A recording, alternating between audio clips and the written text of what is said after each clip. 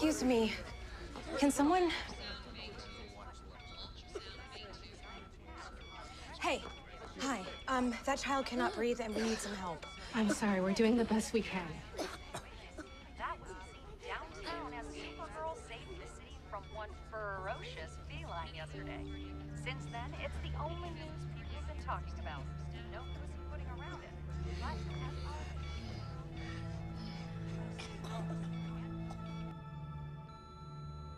Hey, James.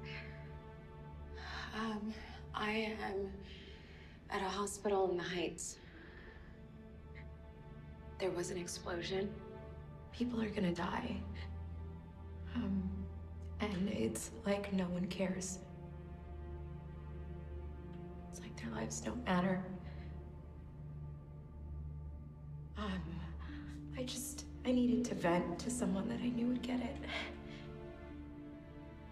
I'm okay. I'm okay. I just, um. I don't know how you did it. Because I'm already so tired. I am exhausted.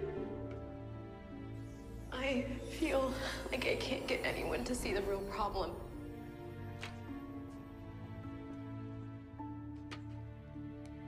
Just focused on themselves. Oh.